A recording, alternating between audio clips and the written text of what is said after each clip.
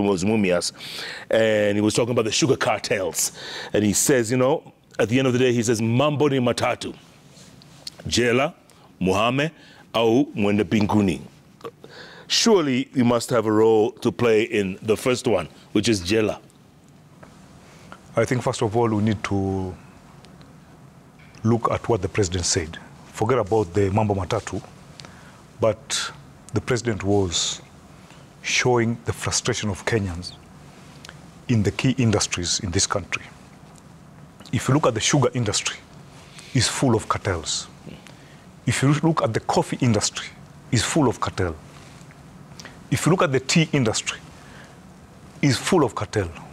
We had another, another industry from my home county, Kilifi, cashew nut. Mm-hmm. That one died because of cartels and corruption. So the sentiments made by the president is just, he was just trying to show the magnitude of the rot in those sectors. And they're causing a lot of havoc to the people. Because if you look at uh, the Western Sugar Belt, Muhoroni, Chemelili, if you look at Mumias, Nzoia, all those sugar factories, they are down on their knees. And sugar is rotting in the field. Sugar is rotting. Let me give you a good example of a country that has got a very well established sugar industry. And it's a very small country, but it produces a lot of sugar because of proper management and because of accountability. And this is what the president was talking about Mauritius. Mauritius is a very small island, but it has very successful sugar industry. Sugar industry in this country has gone down not because of uh, other reasons. It's corruption, cartels, and mismanagement. And the president is trying to wipe out that problem. Because farmers went and said, you cannot privatize these uh, industries. Because these industries, even under the hand of the government, these industries will make profit. Are we together? If you look at uh, coffee, tea, the deputy president, he is trying to fight those cartels. It's all about corruption. And uh, many organizations in this country, they are not doing well, not because they're not doing well because of bad business. It's about corruption. Why should Kenya Power be having financial problems when it has monopoly of distributing electricity?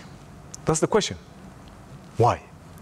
Why, why should we have, uh, although this is not a public entity, why should Kenya Airways make losses? When you fly, all other airlines coming to Nairobi, they are full. If it is British Airways, Emirates, Qatar Airline, Ethiopian, Nairobi route is always full.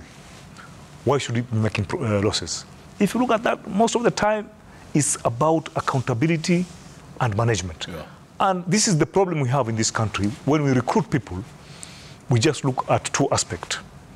We look at education and skills. In Japan and the Orientals, when they want to give you responsibility, the priority number one is they look at integrity. My father was semi illiterate, but he started a small duka. By the time he died, he had a three story building. He didn't build it using loan.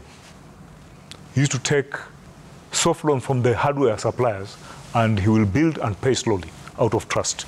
This is something Bishop Oginda was talking about yesterday. Mm-hmm. But today, you have a head of a state corporation. He has even a PhD. But the guy runs down the, the, the, the, the entity Yeah. because he's not honest. And this is where we go. When we, we recruit people, we have to look at education, skills, and two main attributes behavioral pattern and your background. You, get, you, you bring somebody to head a state corporation. This guy is a natural thief. From schools, he used to steal geometry set, uh, sports shoes, everything. It is in the blood. So when he's stealing, he doesn't even know that he's stealing. He believes that he's taking something that belongs to him. Now you find state corporation come down. And that's why you find some state corporation in this country, when a certain guy comes in, it thrives. And then you're told when this CEO left, this is the other CEO who messed up. I'll give you a good example of a company that I worked with, Kengen. Kengen is one of the biggest state corporations in this country. It has no issues because they, they get the right people there, right and competent people. and there's no interference. Also, the other thing is other attributes. Are you a coward?